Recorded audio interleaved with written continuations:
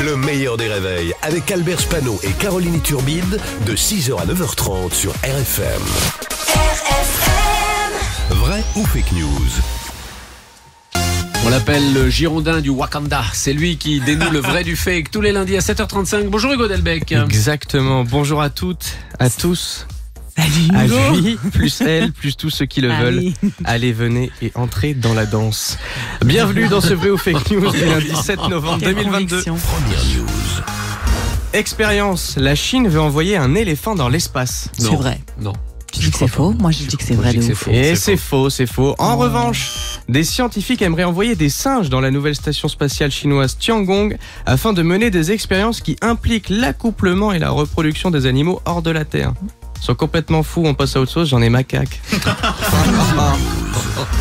de oh, pas mal. Orléans, elle découvre par surprise qu'elle est paxée depuis 8 ans avec Spider-Man. Non. J'ai dit cette phrase Oui, qui n'a pas allez de sens. oui, allez oui. Et c'est vrai, c'est vrai. Ah, il est trop fort, Albert. C'est ça qu'on veut. Ou presque. Il y a quelques jours, Marie est contactée par le notaire qu'elle a mandaté pour acheter un bien immobilier.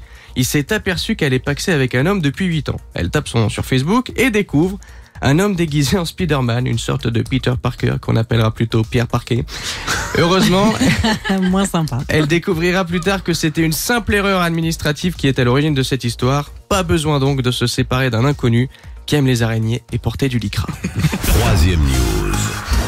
Grande-Bretagne, un emploi lui échappe à cause de la taille de son zigouigoui. C'est vrai. Oui, ça c'est vrai. C'est vrai, c'est vrai. pas mais ouais, le type, il a un immeuble. sûr, c'est vrai.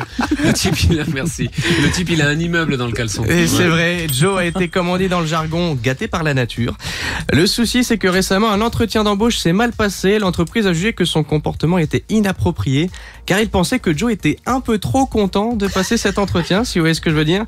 La vision de la chose les a quelque peu embarrassés. On connaissait la fameuse phrase No job in job, on sait désormais que gros job, pas de job. Oh, magnifique. Bravo Hugo Delbecq, bravo, bravo. Hugo Delbecq est avec nous tous les lundis matins. Le meilleur des réveils, c'est seulement sur. RFM.